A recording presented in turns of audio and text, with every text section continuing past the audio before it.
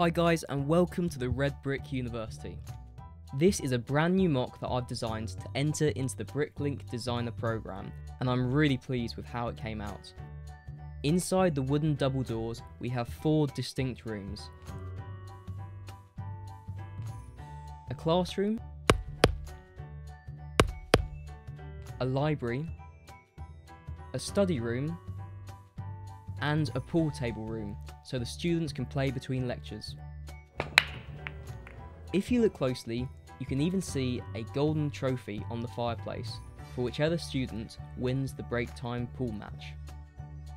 For those of you who don't know, the Bricklink Designer Programme is a competition where designers enter their designs and fans can vote for their favourites.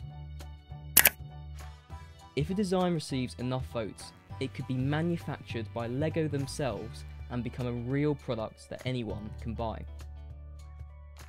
Please vote for the Red Brick University using the link in the description below.